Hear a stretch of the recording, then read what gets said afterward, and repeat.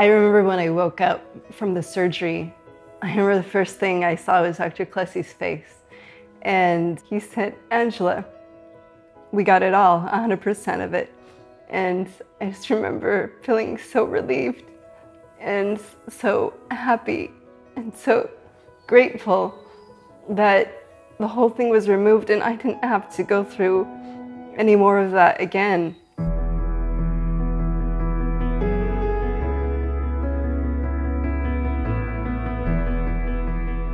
I um, first noticed my symptoms when I was in my drawing class and I was um, drawing eyes. And it was strange because I was drawing and I didn't know what path I was drawing and brain got kind of fuzzy. And I thought I, I was just tired and, um, and I just kind of didn't think much of it. I, you know, went to bed and I woke up in the ER is what happened from in my perspective. And it was crazy because, I mean, I didn't know what was going on, how I got there.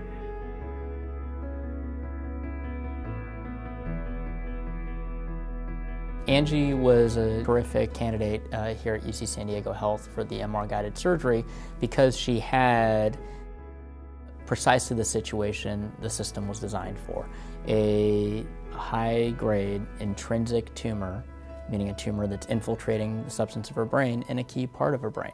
The Jacobs Medical Center with our uh, quad pod of four uh, neuro operating rooms, two of which have MRI capability and two of which have CT capability, are, are critically important and able to provide bleeding edge procedures in terms of image guidance and making sure that you're achieving the technical goals of surgery. So going into Angie's surgery, we weren't necessarily clear on what grade of tumor that she had. She'd actually received opinions from other institutions that told her that that cancer was inoperable. And so she was an ideal candidate to be the, the, the first person at UC San Diego Health to actually have this MR guided procedure. Well, I was really impressed with the idea of the technology, being able to see, you know, what was brain tissue and what was uh, cancer tissue. A lot of what we do in the operating room is try to use the electrical activity of the brain, sophisticated neuronavigation with our integrated navigation, and the MRI to take out as, as much as we safely can. We're then able to check our work with the intraoperative MRI, so the MRI will wheel into the room, we'll get a real-time image, and then we'll know precisely if we've left tumor behind where that is and can make a judgment using our navigation to then remove that additional tumor and get a second scan um, or decide to stop uh, out of concern for the safety of the patient.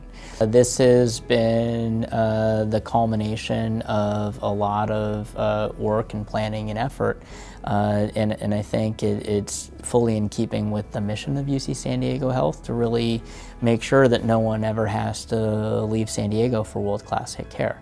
If I didn't have the intraoperative MRI, I feel like I might have had to have had more surgeries, and that means more recovery time and more downtime, and um, it would have been prolonged and more agonizing. And I'm just so grateful that we had that available to us. It was like I said, an, an answer to our prayers, really. You know, I can keep up with my four boys and doing the things that I need to do, doing homework, doing, you know, the sports that they're involved in and able to do all those things that I was doing before. It's so amazing that I'm back to being who I was and with a different perspective on life.